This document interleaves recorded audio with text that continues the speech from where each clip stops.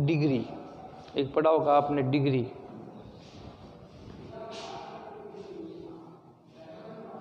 Degree में जैसे आपने एडजेक्टिव पढ़ा, तुलना के विचार से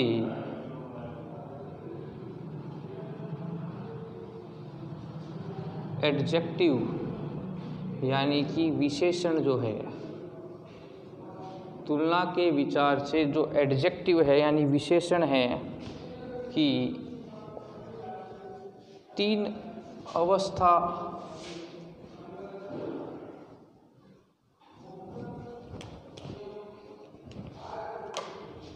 यानी डिग्री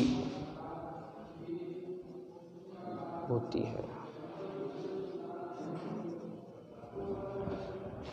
तो तुलना के विचार से एडजेक्टिव यानी विशेषण की तीन अवस्था या डिग्री होती है। एडजेक्टिव क्या है, आपसे पूछ ले तो पहले भी मैंने बता रखा है। एडजेक्टिव जो संज्ञा नाउन या प्रोनाउन संज्ञा, सर्वनाम की विशेषता बताए। जो संज्ञा या सर्वनाम की विशेषता बताता है, उसे हम विशेषण या एडजेक्टिव बोलते हैं। और जो तुलना करते हैं जब हम तो तुलना के विचार से एडजेक्टिव यानी विशेषण की तीन अलग अलग अवस्था या डिग्री की होती है। पहली हो गई पॉजिटिव डिग्री दूसरी हो गई कंपेरेटिव डिग्री तीसरी हो गई। सुपरलेटिव डिग्री यानी तीन प्रकार की डिग्री हो गई।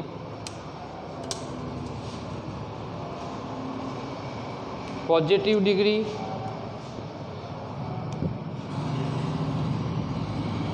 कंपेरेटिव डिग्री और सुपरलेटिव डिग्री अपने को इनके बारे में पढ़ना है, इनकी भी आवश्यकता अपने को वाक्य में पड़ती है। तो विशेषण जो है, वो संज्ञा या सर्वनाम की विशेषता बताता है, उसे विशेषण कहते हैं। उस तुलना के आधार पर विशेषण की तीन अलग अलग अवस्थाएँ दी है।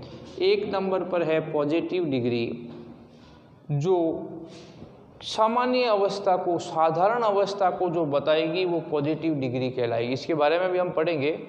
पहले सामान्य जानकारी प्राप्त कर लें कि जो सामान्य अवस्था है, उसके बारे में जानकारी प्राप्त करेंगे, वो कौन सी डिग्री होगी? पॉजिटिव डिग्री होगी। तो फिर कंपेरेटिव क्या है? कंपेरेटिव है दो या दो से अधिक के बीच तुलना करना वह कंपेरेटिव कहलाएगा। इसके नाम से ही है कंपेयर मने तुलना करना। कंपेयर मने क्या होता है? तुलना करना। उससे कंपेरेटिव बन गया। तो दो या दो से अधिक की तुलना की जाए दो की, कि मोहन सोहन से होशियार है तो यहाँ मोहन से सोहन की तुलना कर रहे हैं तो वो कौन सी डिग्री कहलाएगी? कंपेरेटिव डिग्री कहलाएगी। फिर आता है सुपरलेटिव डिग्री। ये सर्वोच्च डिग्री में आ जाएगा, जो सबसे सर्वश्रेष्ठ है। सर्वश्रेष्ठ है। वो इसमें आ जाएगा, उसे हम कहेंगे सुपरलेटिव डिग्री। यानी कि मोहन कक्षा में सबसे होशियार है। यानी जितने हैं, उनमें से सर्वश्रेष्ठ मोहन ही है। या खरा अच्छा नहीं है, खराब भी हो सकता है। सब में सर्वश्रेष्ठ जो है, सबसे अच्छा वो कौन सी डिग्री में चला जाएगा? सुपरलेटिव डिग्री में इसकी पहचान, इसमें द का प्रयोग होगा सुप डिग्री के आगे। ठीक है ना? Mohan is the best boy in the class कक्षा का सबसे अच्छा लड़का कौन है? मोहन है। तो वो कौन सी डिग्री हो जाएगी? सुपरलेटिव डिग्री हो जाएगी। तो अवस्थाएँ तीन हैं। एक है पॉजिटिव, एक है कंपेरेटिव, एक है सुपरलेटिव। इसके बारे में भी बता दिया मैंने आपको कि कैसे सुपर पॉजिटिव, कैसे सुपरलेटिव और कैसे जो है कंपेरेटिव का उच्चारण है। तो ये ध्यान रखने वाली बात है कि पॉजिटिव, कंपेरेटिव को आपको पहचानना है और कुछ नहीं जैसे he is a good boy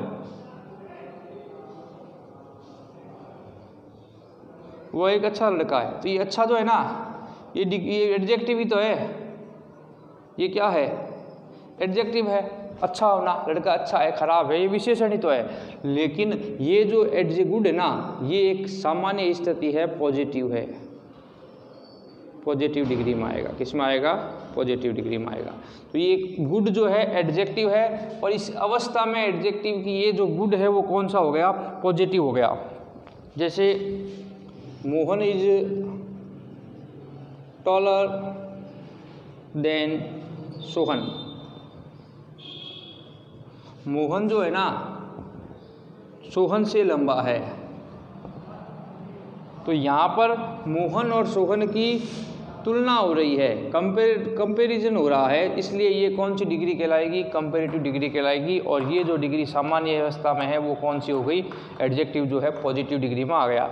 तो यहाँ पर टॉलर जो है ना, ये कौन सी डिग्री में आता है? कंपेरेटिव डिग्री में आता है। तो ये एक सामान्य सा मैंने पहले परिभाषाओं के बारे में बताया है, कैसे आपको इसको पढ़ना है, इसके बारे में आप पहले लिखें।